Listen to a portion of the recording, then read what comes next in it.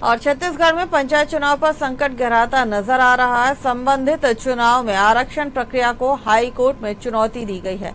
याचिका में छत्तीसगढ़ पंचायत राज्य अधिनियम उन्नीस तिरानवे में की गई व्यवस्था को संविधान विरोधी बताया गया है। मामले में प्रारंभिक सुनवाई के बाद डिवीज़न बेंच ने कांग्रेस और राज्य शासन के अलावा राज्य निर्वाचन आयोग को नोटिस जारी कर जवाब मांगा है। इसके लिए चार सप्ताह की मोहलत दी गई है। याचिकाकर्ताओं ने त्रिस्तरीय पंचायत चुनाव, जिसमें ग्राम पंचायत, जनपद व जिला पंचायत के लिए हो रहे चुनाव में राज्य शासन ने आरक्षण की जो प्रक्रिया अपनाई है, वह संविधान में दी गई व्यवस्था के विपरीत है।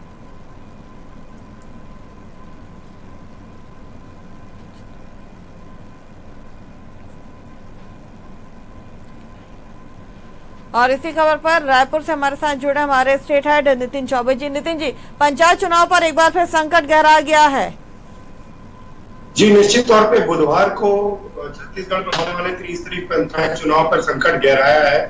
जब याचिकाकर्ता पुष्पनाथ मिश्रा के वकील रोहित शर्मा ने ये रिट लगाई है हाईकोर्ट में कि जो पंचायती राज अधिनियम उन्नीस सौ तिरानवे है उस उस अधिनियम के विपरीत जो त्रिस्तरीय पंचायत चुनाव में जो आरक्षण व्यवस्था की गई है वो उसके संविधान के तो पूर्णतः विपरीत है और इस पर सुनवाई करते हुए जस्टिस पी रामचंद्रन और पी पी साहू की जो बेंच ने सुनवाई करते हुए केंद्र के साथ साथ राज्य शासन और राज्य निर्वाचन आयोग को नोटिस जारी कर इस बारे में चार हफ़्ते के लिए जवाब मांगा है याचिकाकर्ता का ये कहना है कि त्रिस्तरीय पंचायत चुनाव में जो भी प्रक्रिया अपनाई जा रही है आरक्षण की हम्म। वो पूरी तरह से संविधान के और सुप्रीम कोर्ट के गाइडलाइन के विपरीत है।